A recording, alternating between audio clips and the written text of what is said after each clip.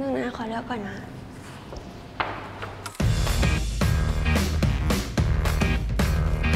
ชื่อพัชริยามนท่าพลินนะคะ อยู่ม .4 สาธิตมสว ประสานมิตรเอกทัศนศิลป์ค่ะ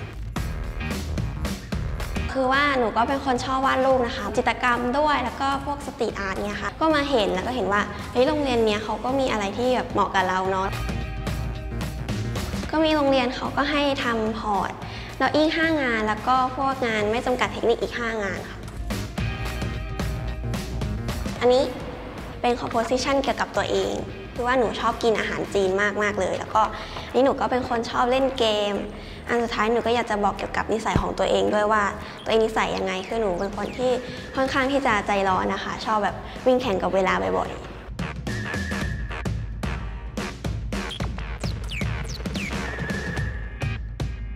านนี้นะคะจะเป็น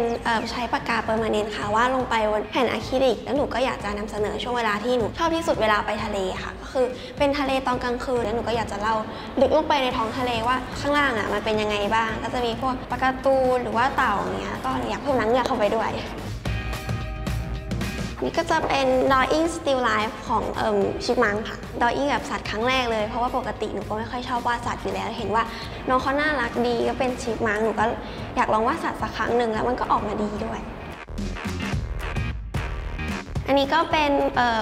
หุ่นรวมครั้งแรกเหมือนกันค่ะ ก็เป็นหุ่นรวมสีไม้ครั้งแรกด้วยอีกเหมือนกัน ก็คือที่บ้านหนูตู้เย็นก็คือจะมีแต่พวกนี้หนูก็คิดว่ามันก็เหมาะดีแล้วก็สีโทนสีมันก็ได้แล้วก็อยากเอามาวาดค่ะ ก็มีเรียน composition กับ drawing ค่ะ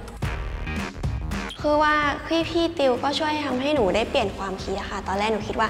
ไอ้ที่มาเรียนเนี่ยคือแบบยากมากเราทำไม่ได้แน่เลยอะแล้วก็พอมาเรียนปุ๊บก็ลองว่าเฮ้ยเราก็ทำเหมือนเขาได้อะเราทำได้ก็รู้สึกดีใจ คือหนูก็อยากจะให้เอิมเพื่อนๆหรือว่าน้องๆเนี่ยแบบมั่นใจในตัวเองให้มากๆค่ะ แล้วก็มั่นใจกับงานที่เราทำด้วย